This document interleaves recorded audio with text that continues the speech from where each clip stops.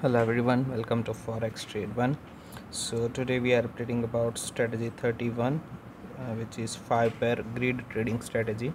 part 16 the last video was part 15 published on 9th of september and we are back with a new update. As you know in youtube description you can get the strategy details profit update trading account statement to verify. So make sure you check the description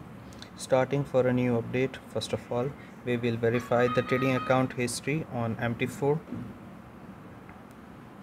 we will select a custom period so total history will be available.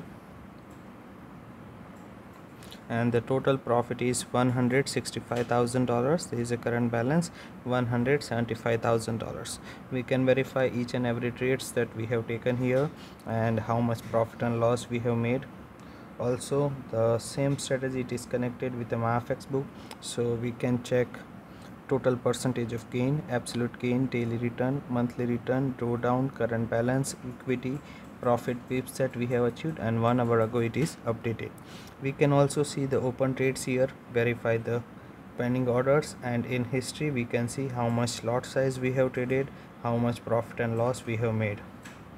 also the mt4 to telegram is connected so by following ft1 strategy 31 channel you can stay updated for the each trades that we have taken and verify it with its order id and also check how much profit and loss we have booked. After then we have a trading account statistics from the statement. Here is a graph constantly it is growing the profit factor is 1.30 total number of trades are 27839 expected payoff is 5.93 average profit and loss is 26 and 455 so the risk reward ratio will be 1 is to 0.05 and the account accuracy rate is 95 percentage. So if you are also willing to get the same trades and profit on your account ask us for the connection. Thank you so much for watching this video